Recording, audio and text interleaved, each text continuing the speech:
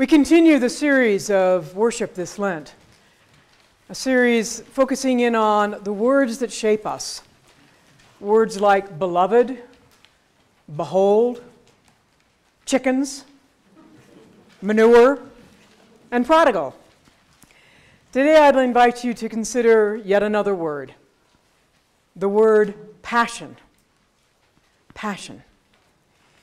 It's a word, the root of which simply means to experience something deeply. And the story we hear today is about someone or someones who did just that.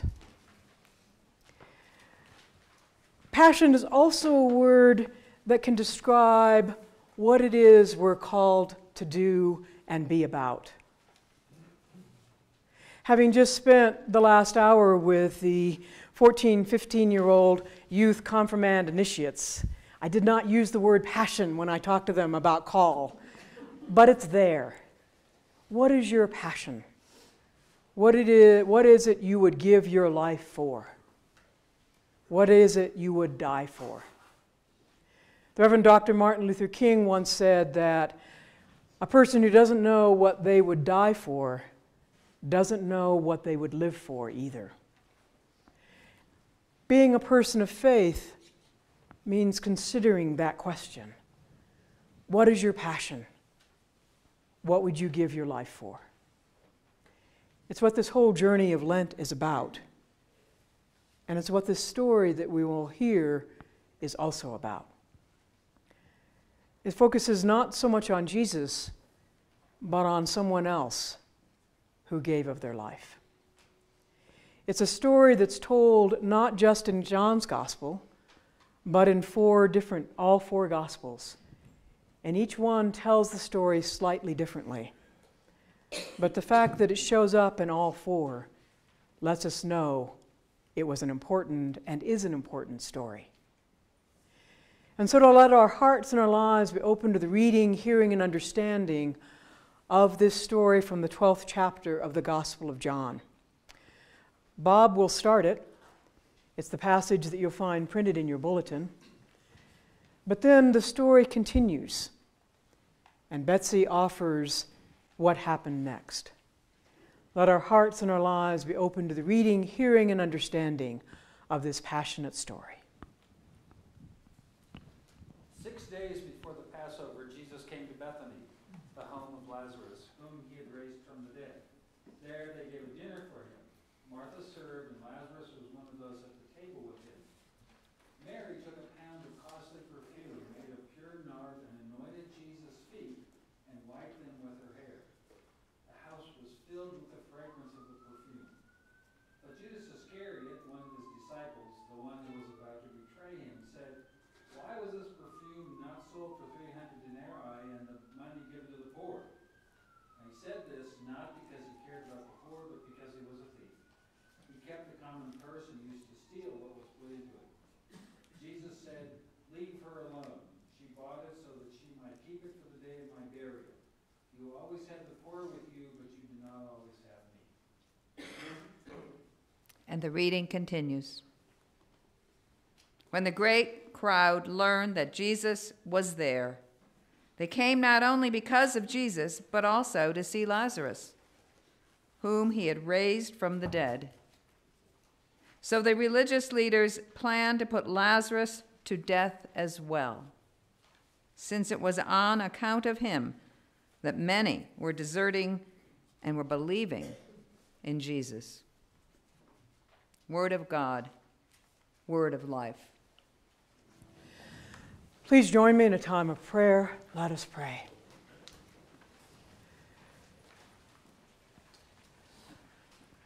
Open us, O Lord, we pray.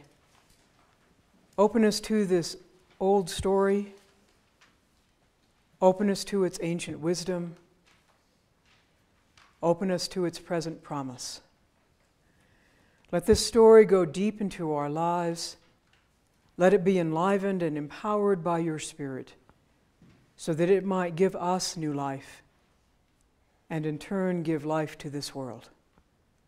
We pray in your name. Amen.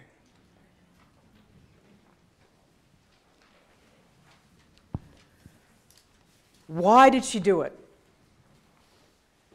Why did she waste so much? That flask that Mary took, Mary, the sister of Martha and Lazarus, that flask that contained a pound of nard cost an entire year's wages. And that's what she wasted, pouring it out over the feet of Jesus. She didn't even pour it out over his head, she poured it out over his feet. I guarantee you those feet were going to get stinky, dirty, and smelly the minute he walked out the door of that house. What a waste. And she did not need to use the whole flask. She could have just used, you know, a few drops. It would have been enough. But she poured out the whole flask over his feet so that the aroma, the, the sweet scent filled the entire room. All those swelly, uh, all those smelly disciples' bodies covered up with that wonderful perfume. What a waste! What a waste. And she didn't even use it in John's gospel as supposedly the story is told in other gospels, where Mary or whoever it was, and in the other two, in two of the other gospels, the woman's unnamed, that it's poured out on his head to anoint, to anoint him as a king. Excuse me. There is nothing in this story that is kingly. It's about feet. It's about feet. I don't know about your feet. My feet aren't real queenly or kingly or regal or whatever. They're just feet. And what a waste, too, of a good reputation. Mary was, from all intents and purposes, a good girl. But here she is touching, not even just touching, but bending her head down, caressing his feet with her hair. A religious male leader. I can't even begin to count the number of commandments that would break. It was a waste of her reputation and definitely a waste of his good name. In fact, this whole story is about such waste. Why in heaven's name would she do it? Why?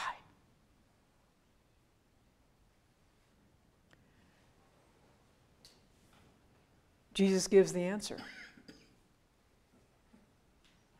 He talks about burial.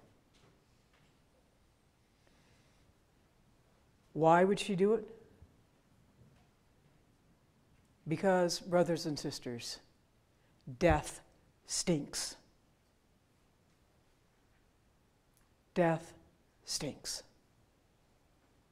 And Mary knew that to her bones.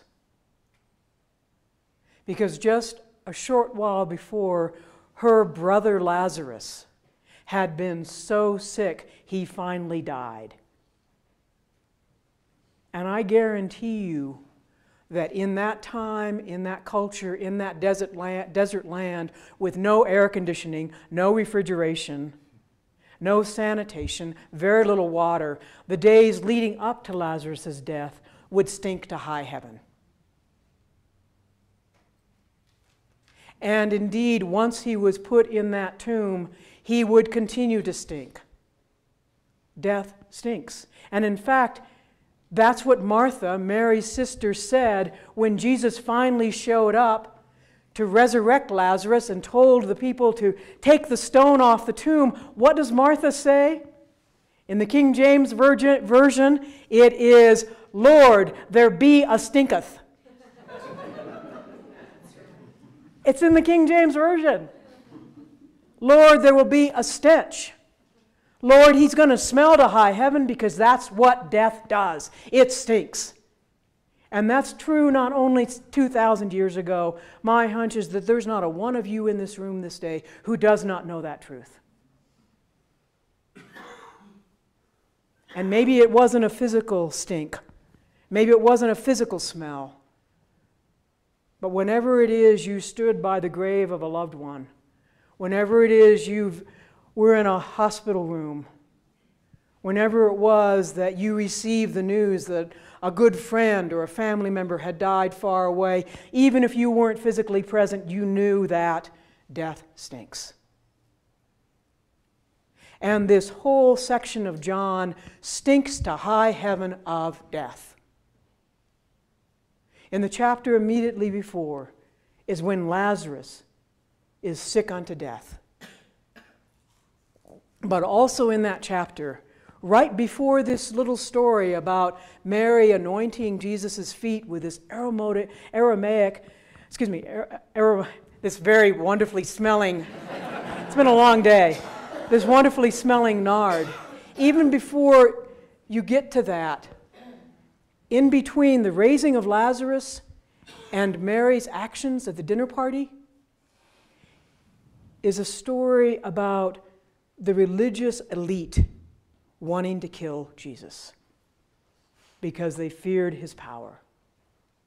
And immediately after the story, after the story of what Mary did, there's another small story about that same religious elite wanting to kill Jesus, wanting to kill Lazarus. So this story, this story that talks about burial, but also talks about that beautiful smell that filled the whole room, is beating back the stench of death. The stench of death. And if I had been Mary, there is a part of me that if I had long hair, I would have wanted to wipe those feet and that wonderful oil with my hair. Because it was a way of staying close, a way of remembering, a way of knowing that this story was not going to end well. It was going to end with the same stink of death that she'd just known with her brother Lazarus. But that when that happened, at Calvary and at that tomb, that she still had her hair that she could draw in front of her face and breathe in and remember. They say that smell is the last thing to go. I still remember a number of years ago, probably 20 years ago now. I was in Arizona at my mom's house. We were cleaning out the garage, a usual summer ritual cleaning out the garage, getting rid of stuff, repacking new things. There was a footlocker that I never had remembered being opened. And that day, my mom decided to open it. It had the initials LWA, standing for Lee Wait Arnold. It was a Navy footlocker from my father's time during World War II.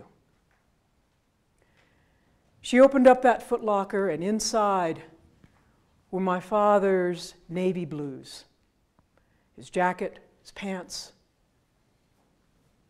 his navy whites, his hat, and also the carefully folded American flag she had been given 40 years before when he died.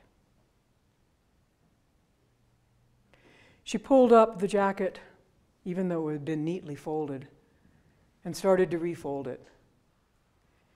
And when she, I think, thought I wasn't watching, I saw out of the corner of my eye that she took that jacket and put it up to her face and just breathed it in for a long time. Forty years later, she still wanted that smell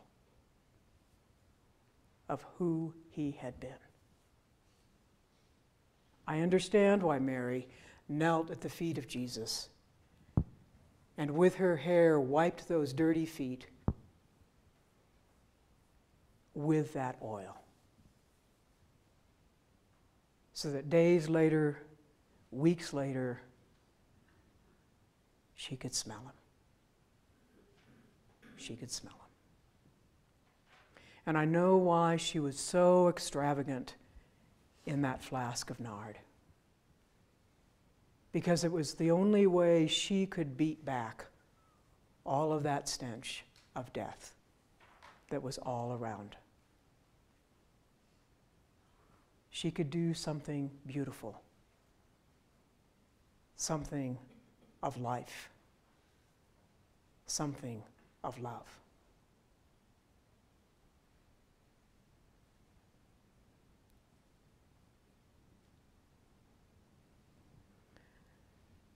Arn Chorn.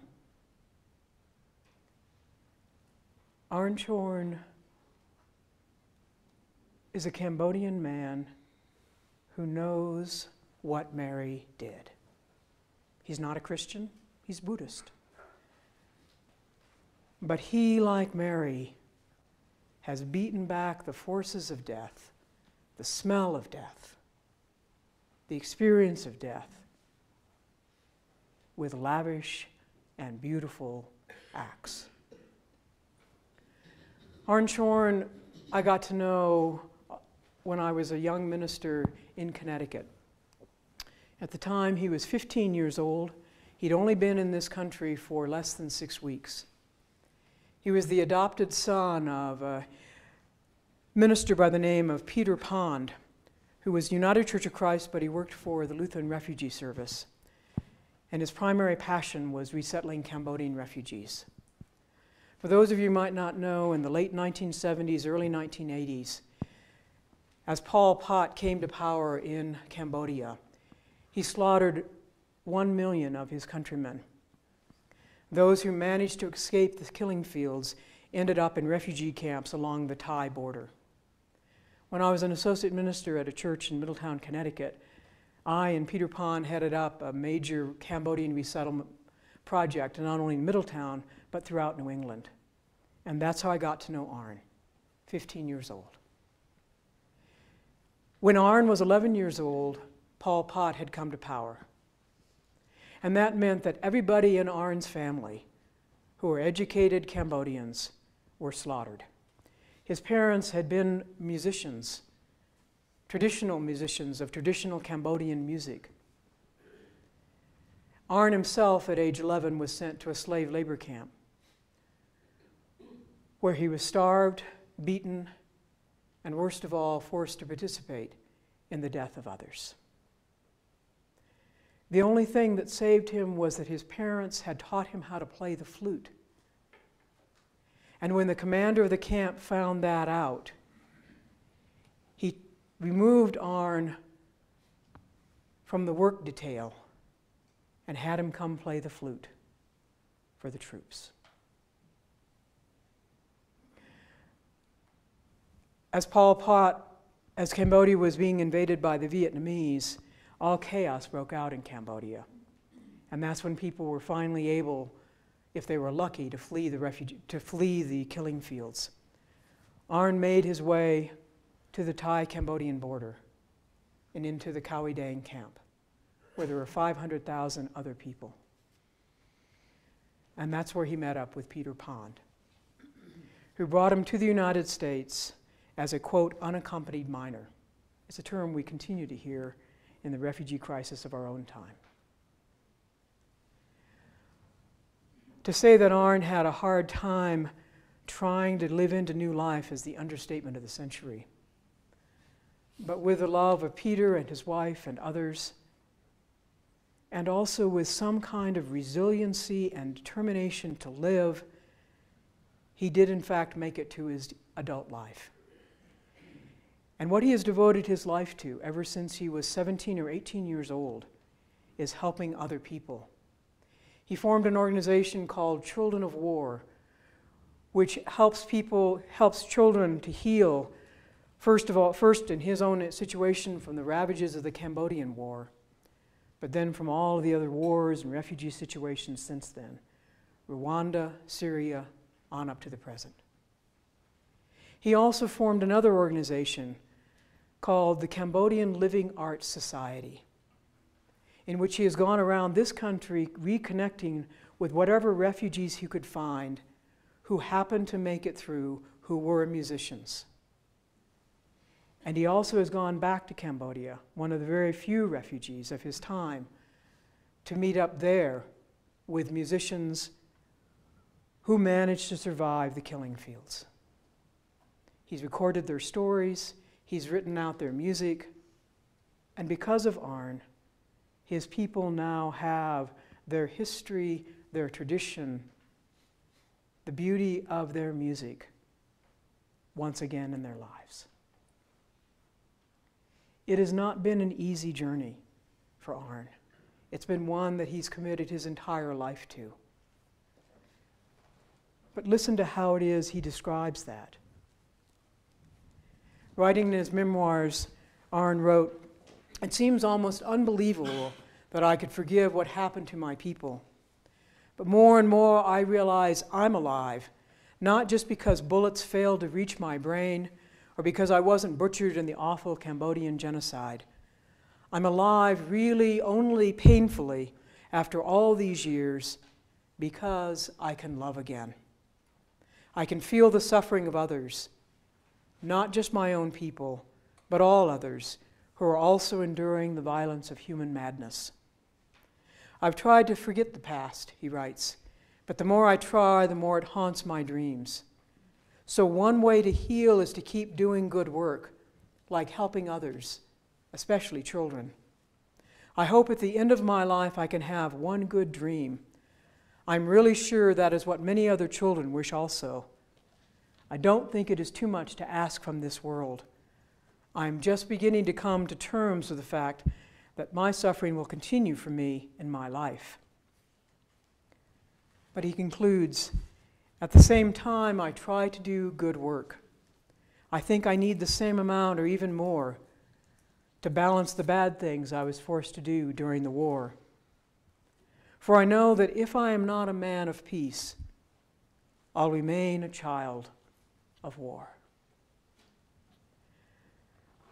To push back the horror of war and what he was forced to do, Arn Chorn has made a commitment to try to do the good, to balance out and beat back all that bad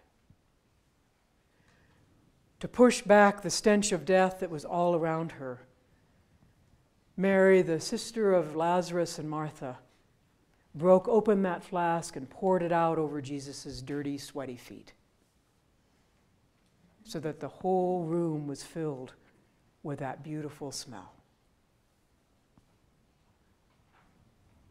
And to beat back the forces of death, that Jesus also poured out his life for others.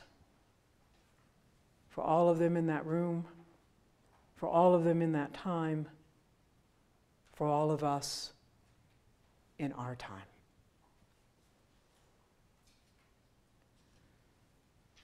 To do that, to give oneself to beauty, to love, to life. All of that for the sake of others and for this world. Sometimes we call that the passion. The passion. What's our passion? Thanks be to God.